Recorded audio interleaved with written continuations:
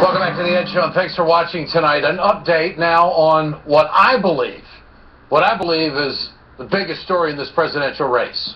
Republicans, they are setting the table to steal the election in Ohio.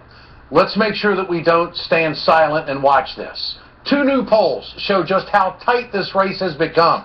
The Ohio poll shows President Obama and Mitt Romney are only three points apart.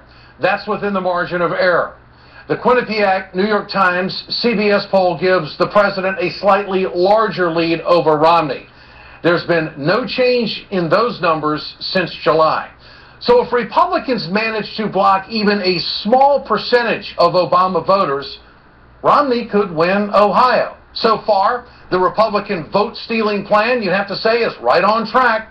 They've shortened voting hours in all 88 counties in Ohio 88 counties. They've shortened the hours. It's a direct attack on Obama supporters.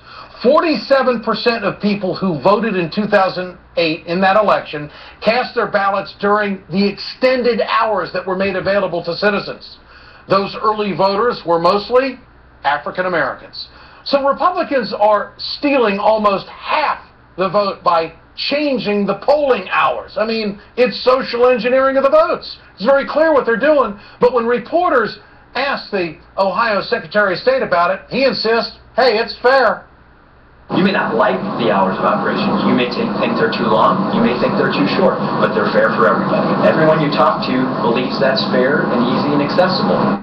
Everyone you talk to, he says, no.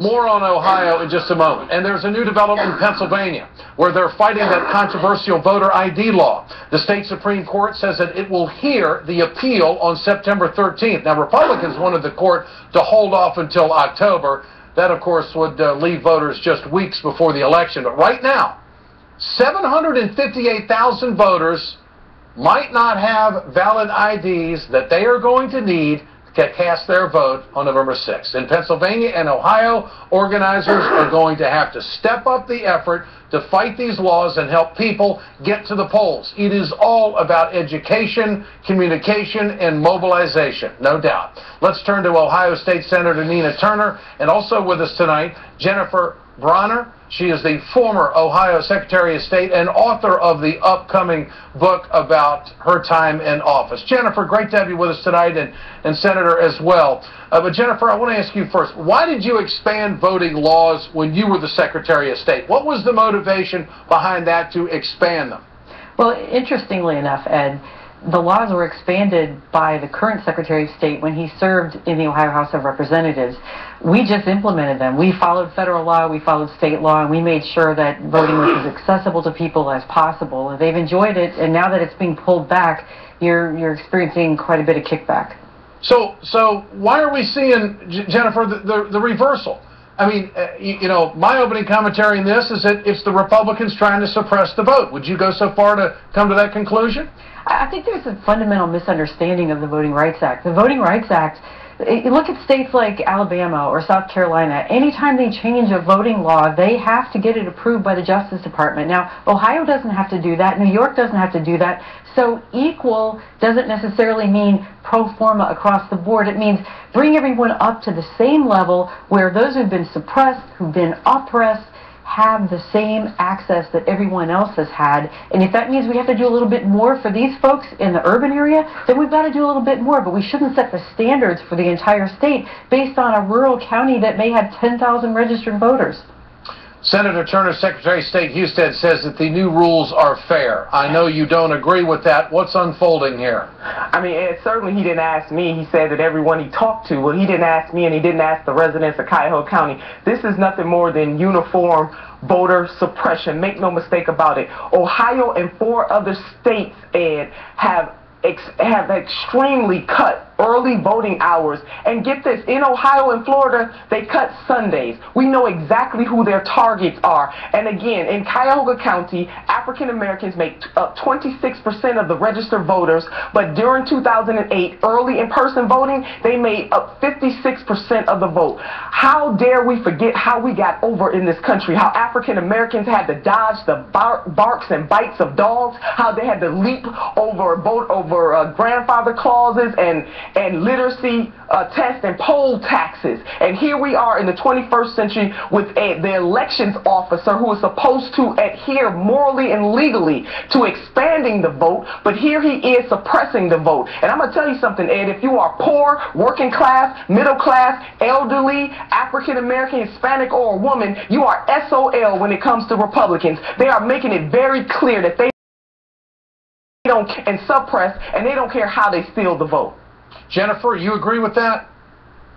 I, I think we've got some real problems with anything being partisan connected to voting. Look, voting itself is not a partisan issue. It, it's it's really what what everyone needs to do is to come into the room when we're talking about changing the voting laws, drop the partisan cloak, stand up, be adults, do what they know is fair because our future depends on it. If we Well, where's your governor on this, Jennifer? I mean, where, where's Governor Kasich on this? He likes to present himself as a fair-minded guy. How, how can he go along with something like this? He's MIA, Ed, when it comes to this voting issue, and it's a it's a shame. No, I think typically you've got Ed the problem where it's a, it's the purview of the Secretary of State. The Secretary of State is the chief elections officer, and so it's very rare in any state where you get a governor who will step in and interfere, even when they've previously been a Secretary of State. But this is a situation where neither party should try to step in and grandstand and turn this into something other than making sure that the, the, the person in the lowest position on the street who's going to have the most difficult time voting is going to be accommodated, is going to be accounted for, is going to be on election day, the one day when every person truly is supposed to be equal. We haven't even gotten to the voter machines.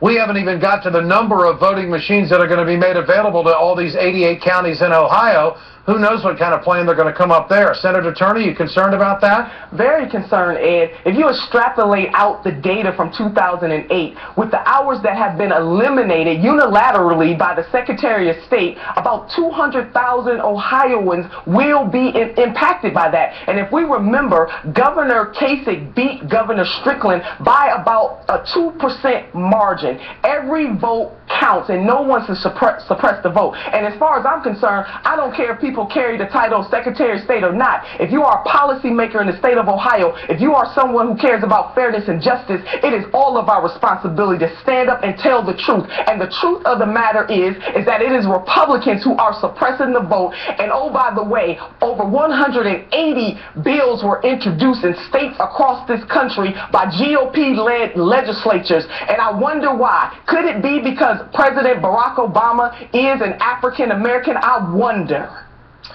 State Senator from Ohio, Nina Turner, and also Jennifer Brunner. Great to have you with us tonight. We're going to continue to stay on this story because I think fundamentally it is the biggest story in this election.